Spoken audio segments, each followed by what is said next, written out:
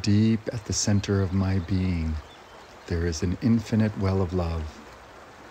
I now allow this love to flow to the surface.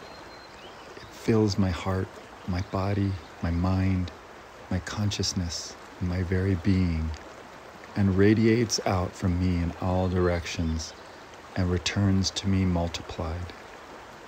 The more love I use and give, the more I have to give. The supply is endless. The use of love makes me feel good. It's an expression of my inner joy.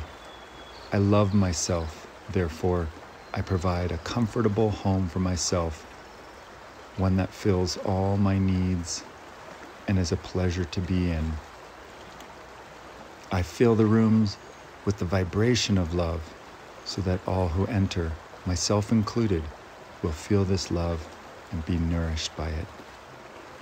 I love myself, therefore, I work at a job that I truly enjoy doing, one that uses my creative talents and abilities, working with and for people whom I love and who love me, and earning a good income. I love myself, therefore, I behave and think in the loving way to all people, for I know that that which I give out returns to me multiplied.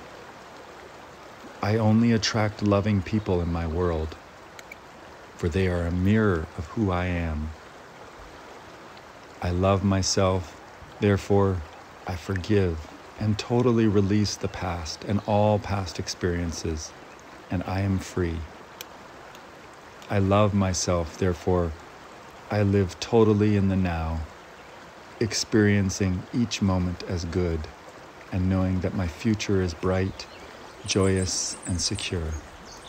I am a beloved child of the universe, and the universe lovingly takes care of me now and forevermore. And so it is.